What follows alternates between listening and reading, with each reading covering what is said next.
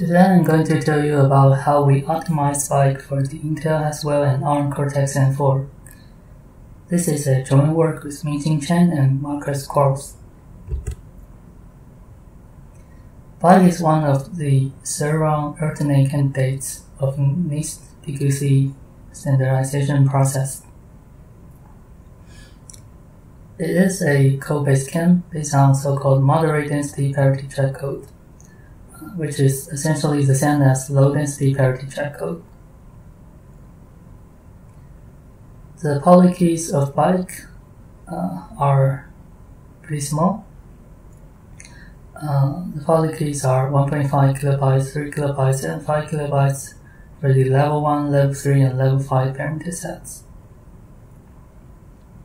And the reason why bike can have small keys is because uh, the construction is NTRU-like. Uh, some ring structures has been included in uh, bikes construction. And Bike has been supported in Amazon's AWS key management service. So all this sounds good, but unfortunately, Bike is a relatively slow scheme in the standardization process. For example, if you consider Bike L1, uh, the level 1 parameter set of Bike, to the corresponding parameter set of classic McEliece. You can see that both encapsulation and decapsulation are much slower. And there hasn't been any optimized code for embedded systems uh, written by the bike team. So here's how what we did. Um, we wrote a Haswell implementation and also a M4 implementation, and both implementations are constant time. As you can see, our Haswell implementation is faster than the AVX2 implementation of the bike team. And in particular, uh, our decapsulation time is much faster. This is important because decapsulation is the most, uh, is the slowest operation. And our M4 implementation is also much faster than the portable implementation written by the bike team. Here I have to mention that uh, the portable implementation is not fully constant time. Now we can look at bike's specification. Uh, here the operations uh, that I highlighted in red uh, are operations in the ring R, which is f2x divided by x to the r minus 1. So you can see uh, there are three multiplications here, and although it's not particularly important, uh, each multiplication involves one low weight operand. Uh, so E1, F0, and H1 are all low weight uh, elements in R. And when we implement uh, when we implement H0 inverse using Itoh-Tsujii, uh, there are going to be more multiplications in R. So uh, what I want to say is that uh, there are many multiplications in R that we have to perform. And you might wonder that uh, why is Bike uh, code-based scheme? It doesn't look code-based. Well, uh, in fact, 0H0 here is a syndrome, uh, which means that it's a parity check, uh, the product of a parity check matrix and an error vector and the parity check matrix is a low weight matrix. And just by using the low weight structure, we can already find the error positions, uh, well, at least with certain probability. So here is what uh, you can do. Uh, so you can set uh, an error vector e prime to zero And then for each position i, you count the number of unsatisfied parity checks. If the number of unsatisfied parity checks uh, for a position i is greater than t, then you flip e prime i. If e prime is equal to s, then you return e prime, otherwise you go to step 2. This algorithm is uh, not the same as what is specified in Bike's uh, specification, but uh, essentially the decoder used by the Byte team is a variant of this single algorithm. And actually, um, as shown in the CHES 2016 paper, Quick Bits, Constant-Time Small-Key Code-based cryptography, uh, the operation of counting the number of unsatisfied parity checks can be viewed as multiplications in another ring Rz, which is dy divided by y to the r minus 1. And operands of each multiplications in, uh, in Rz uh, must have coefficients uh, in set of 0 or 1. And also, one of the two operands must be low weight.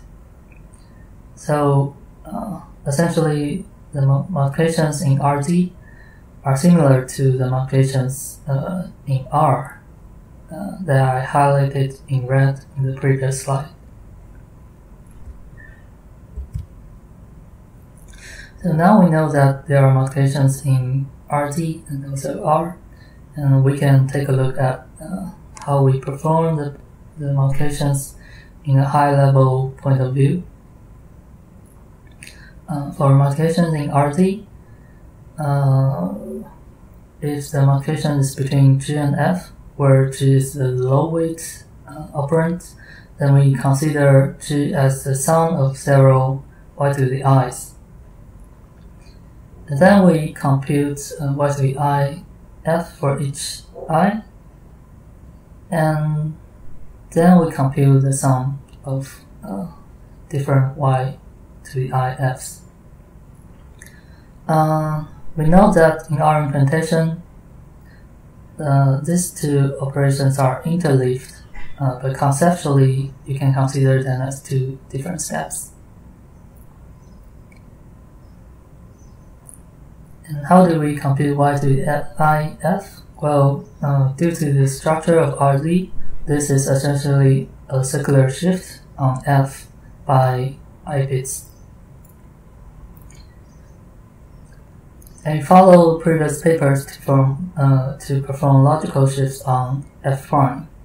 We don't actually perform circular shifts, we, we convert f into f prime and then perform logical shifts. Uh, and here f prime is essentially a, a duplicated form uh, of the vector f. Uh, regarding multiplications in R, what we did uh, is simpler. Uh, we basically do multiplication, polynomial multiplication, and then modulo x to the r minus 1.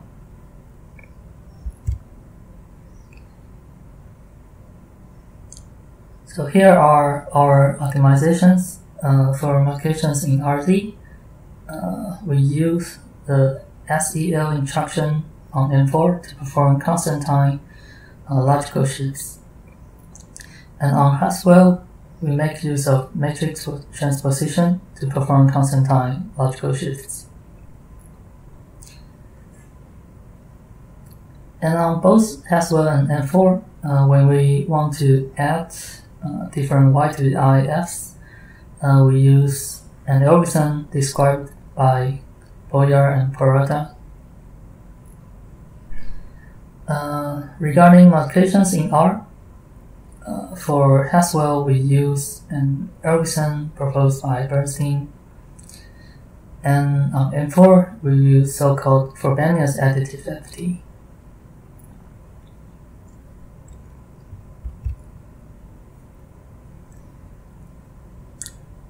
Okay, now uh, we can talk about how we use the SEL instruction to perform multiplications in RZ.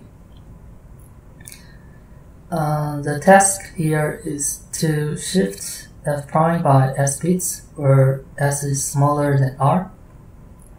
And we consider s as the sum of s1 and s0 where s0 is s mod 32. To shift f prime by s1 bits, we use a barrel shifter, uh, which means that we conditionally shift f prime by some to the k bits, k minus 1 bits, and so on, uh, until uh, we conditionally shift f prime by 32 bits. So here, uh, because each time uh, when we com com compute uh, conditional shifts, the shift amount is always a, a multiple of 32. Uh, so each conditional shift is simply a sequence of conditional moves of 32-bit words.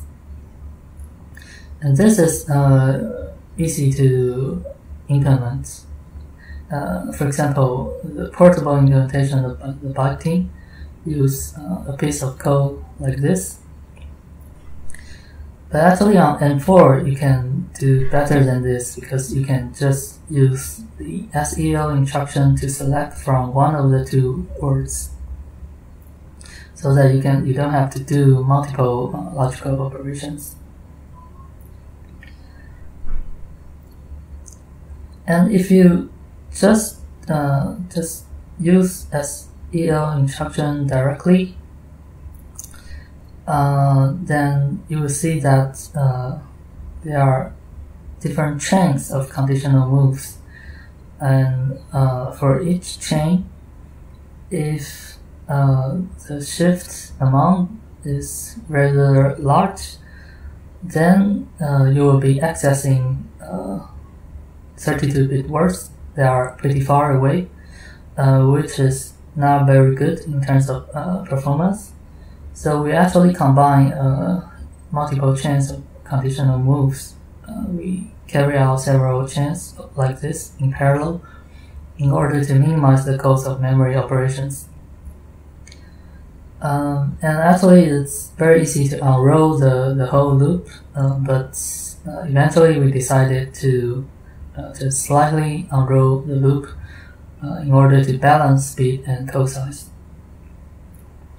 And finally, uh, when you want to shift the vector by S0 bits, um, this is very easy to do. You can just do it by using logical instructions.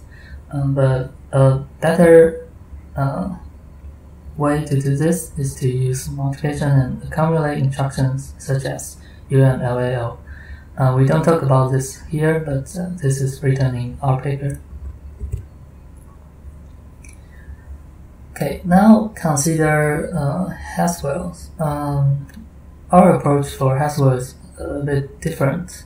Uh, we still consider the shift amount at uh, S as the sum of S1 and S0. Uh, and S0, S0 is uh, S mod modulo sum B. And now we consider F prime as a matrix like this.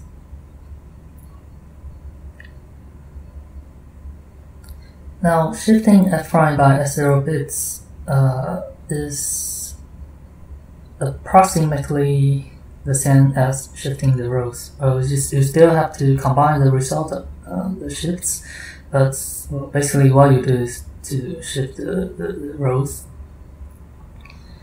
And in order to be able to shift the rows, it's, better to make a M0 row major.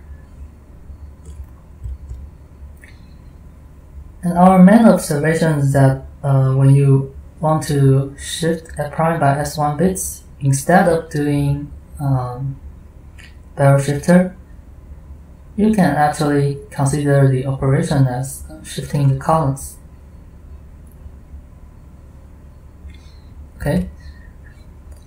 So in order to be able to shift uh, by S1 bits, we store F prime in a row major way And then for each S, we shift the columns by S1 bits, transpose the matrix, and then we shift S prime by S0 bits. And here multiplication, uh, uh, matrix transposition is pretty fast. Uh, you can do like uh, partition the matrix into four pieces and recursively swap the upper right part and the bottom left part. And all this can be done uh, conveniently using logical operations. Uh, for our Haswell implementation, we set B to 256. And we also tried the same approach on M4, but unfortunately it doesn't seem to work very well on M4. And we guess this is because uh, it's not very easy to shift by a large uh, uh, number of bits on M4.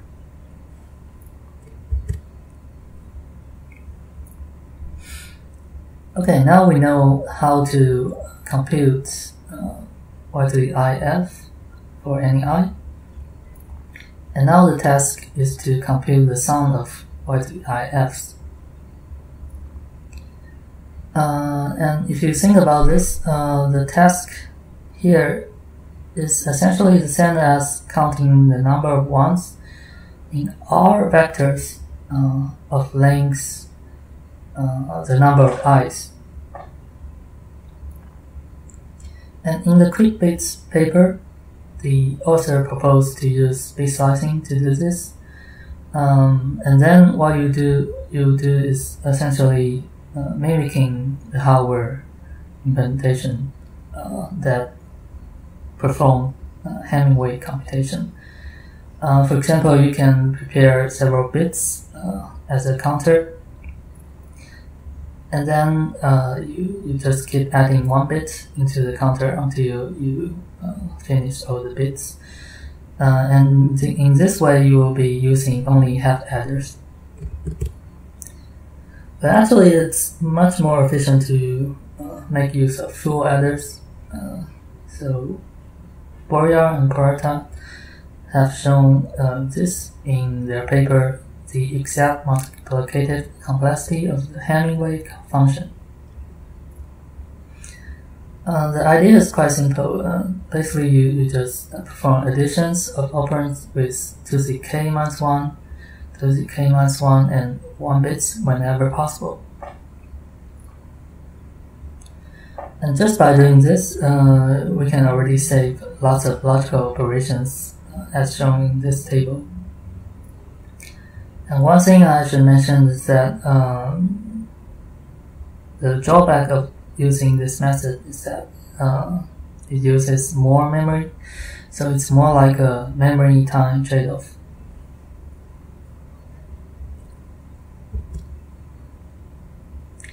Uh, here is a picture uh, that illustrates uh, the algorithm. Uh, for example, if you want to add uh, 15 bits, want to compute the Hamming weight of this uh, length 15 vector, then what you, you would do is to add bits 1, 2, 3, 4, 5, 6, 8, 9, 10, 11, 12, 13 using four adders And then you add uh, bits 1 to 7 uh, using uh, two four adders. You add bits 8 to 14 using two full adders. And then you add uh, uh, bits 1 to 15 uh, using three full adders.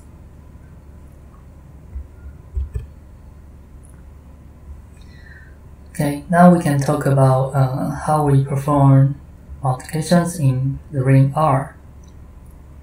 And on Haswell, um, oh, one simple thing you can do is to use Karatsuba.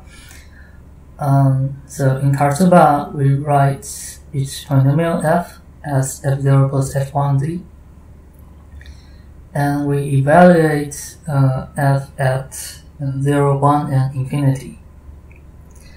And then we do this also for g and we do uh, a pointwise multiplication and then we do some interpolation in order to get the product. And the team sets uh, z to x to the k, where k is the power of 2. And for polynomials of length 64, uh, they just use PCLMULQDQ. And actually, for each of uh, Bike's parameter sets, R is always approximately 3 times the power of 2 for each parameter set.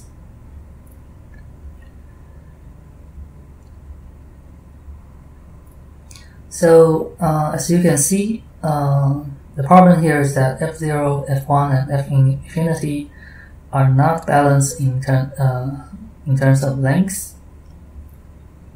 And we also wonder um, maybe a lower complexity algorithm can perform better because the, the length of the polynomial are not so short.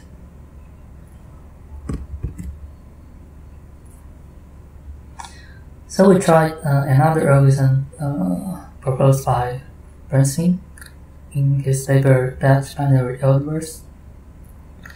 Uh, the algorithm has a lower complexity uh, so for every uh, polynomial, uh, the origin writes uh, f as f0 plus f1z plus f2 z squared, and then evalu evaluate the polynomial at 0, 1, x, x plus 1, and infinity. And then we do some uh, pointwise multiplication and some interpolation. So uh, the implementation is quite straightforward. We implement the Bernstein solution for the top level recursion, and then for the bottom levels, uh, we just use Karatsuba.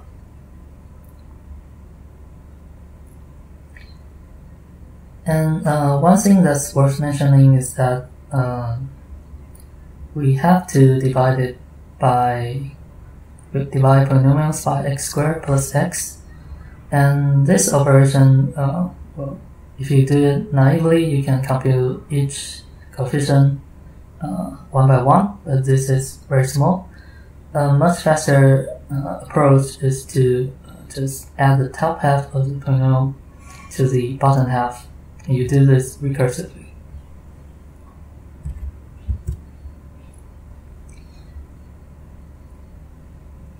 And finally, uh, we can talk about how we do multiplications in R on M4. Here, uh, the basic idea is that we want to use additive FFTs to do polynomial multiplications. Uh, and the and the operands uh, here are uh, binary are polynomials of binary coefficients. Um, so in additive FFTs, uh, you write uh, polynomials f x f of x as f0 x squared plus x plus x f1 of x squared plus x. And then by doing this, uh, you will see that uh, we have a very big overlap between the computation of f alpha and f, uh, f of alpha plus 1. And this is how the recursion works.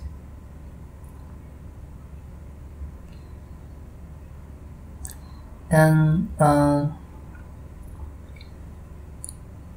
if you do this naively, then uh, the resulting recursion will be not so efficient. So uh, there's an, a special algorithm called Frobenius additive FFT, which tells you that uh, you can reduce the number of evaluation points by making use of the uh, Frobenius map. The concept is quite simple uh, because we're dealing with binary uh, polynomials. So we have uh, f of alpha squared uh, must be equal to uh, the square of f of alpha for any alpha in f to the n.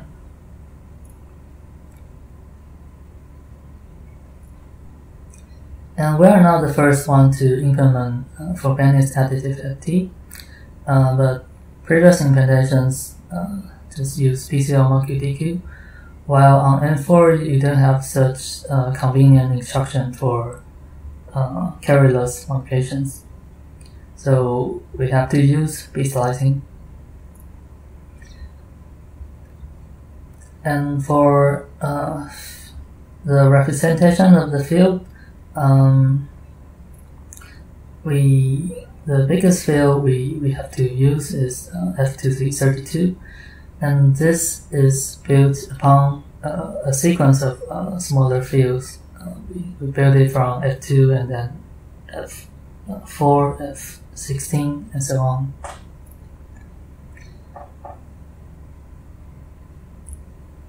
And each multiplication in FAFT uh, is of the form alpha times beta, where beta is uh, V plus W. Here W is always a uh, element and V is always a, a constant.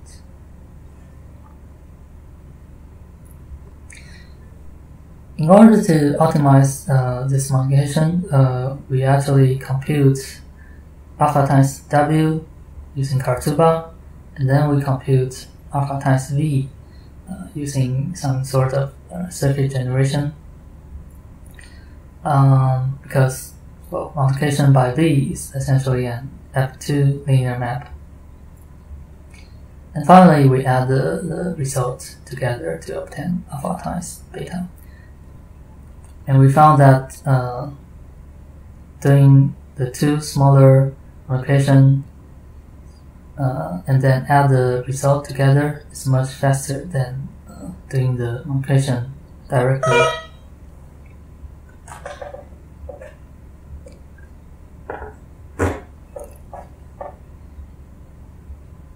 And finally, um, we found that uh, Bernstein's algorithm still performs better on Haswell. We actually try the same algorithm on Haswell, but it seems that Bernstein's algorithm is still a bit better.